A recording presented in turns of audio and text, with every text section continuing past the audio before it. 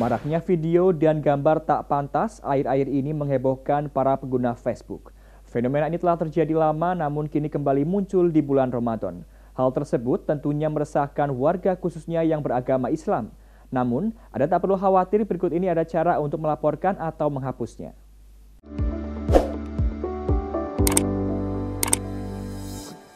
Akhir-akhir ini pengguna Facebook dihebohkan dengan tagging video dan gambar yang tidak senonoh. Fenomena ini telah lama terjadi dan kembali muncul di bulan Ramadan. Hal ini mengganggu para pengguna Facebook khususnya yang beragama Islam.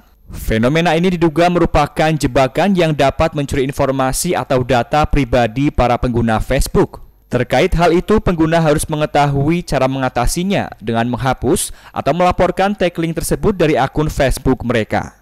Mencegah hal tersebut ada beberapa langkah yang dapat dilakukan bagi para pengguna. Ketua Digital Forensic Center UMP Muklis Prasetyo Aji menjelaskan, para pengguna dapat masuk ke pengaturan, profil dan penandaan, kemudian meninjau, tinjau postingan yang menandai Anda, lalu nonaktifkan sementara. Akan nanti bagi yang uh, memiliki ya, Facebook ya dan sudah uh, apa tidak menginginkan tagging itu kembali ke apa istilahnya uh, Facebook kita ya. Kita bisa masuk ke setting ya, atau ke pengaturan ya. Nanti di situ ada profil dan penandaan kemudian uh, atau profil dan tagging ya. Dan di situ nanti ada sub menu lagi uh, meninjau.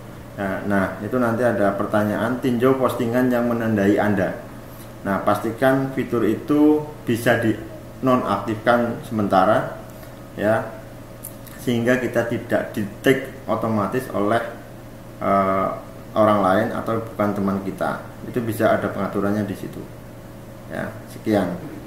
Udah, berhenti dulu. Guna mencegah tagging tersebut, para pengguna juga dapat mengamankan akun Facebook dengan mengganti password dan melakukan autentifikasi dua password yang menghubungkan ke akun Facebook dan nomor handphone pribadi para pengguna.